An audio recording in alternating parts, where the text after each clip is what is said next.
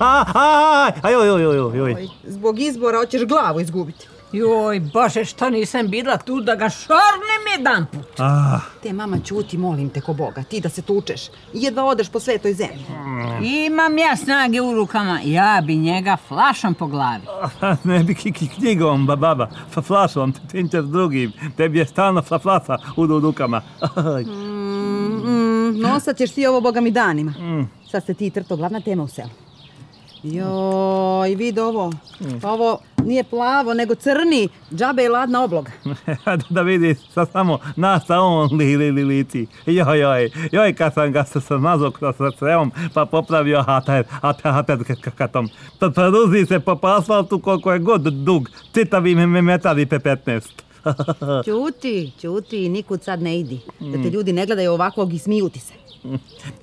Stavit će onaj tvoj put, put, puder. Neće se ništa primijeti. Moram zeno ići, izborna kampanja u je, je, jeku, šta ta, ta ti je? E, stavljaj šta hoćeš, samo nikud ne idi. Pa hoćeš opet da naletiš na njega pa da izbije još veći belaj. Ej, ja sljedeći put idem s tobom. I kad oni vide nas, ima da pređu na drugu stranu.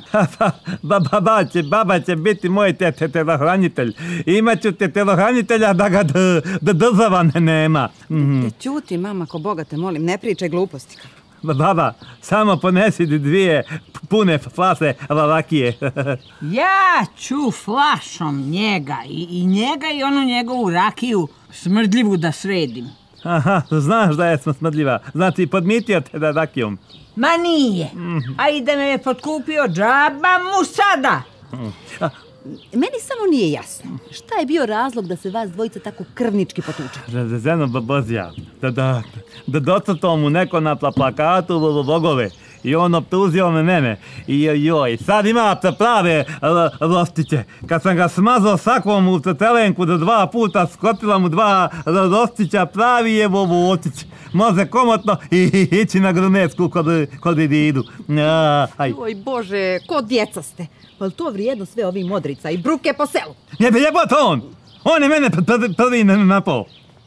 Joj, joj, kad sam ga zdimio sa, sa sakom, ja sam njega rasasnirao i smrti mi se veza mi je, duboki je, da radnički je cipela. A joj.